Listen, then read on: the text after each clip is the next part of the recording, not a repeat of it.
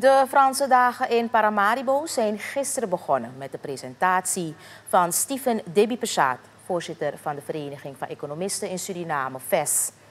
De presentatie had als thema French Public Development Aid. Debi-Peshaat noemde in zijn presentatie verschillende projecten die mede zijn gefinancierd door Frankrijk en legde de nadruk op de vele hulp die het land aan Suriname heeft geboden door de jaren heen. It's also important to talk about how will you finance your business. Um, every kind of business, I have picture here of uh, Streekziekenhuis Marowijne. Uh, so this is a hospital in the uh, east in the eastern part of Suriname, uh, partially financed by France. Um, this is one of the development uh, projects. Uh, but even if you have the building, you still need equipment, you need doctors, nurses, and whatever. So for everything that you start up, if it's a business, if it's a hospital, it's an education center, you need financing to start up. And financing, uh, we know in Suriname can come sometimes from your family, but most of the times it comes from loans, commercial loans, but there are alter alternatives. Today we'll see that ADF, sorry, AFD is one of those alternatives. There are many more alternatives. As Suriname, if you can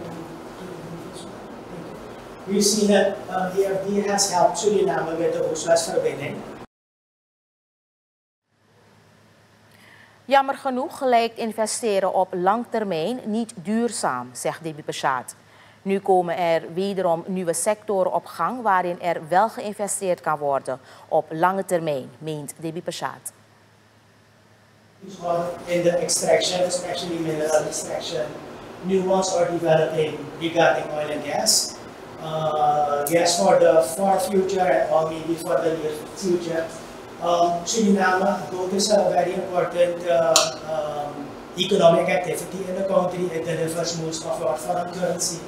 A lot of people do have employment in the gold sector, the gold sector, uh, the official and the not so official one. Um, there are some shore bases already in development um, the one in Commewijne, and I guess that uh, um, in the near future we see some, we'll see some developments on shore bases in uh, the west of Suriname and Nickerie. Um, yeah, so Suriname is a green country relatively.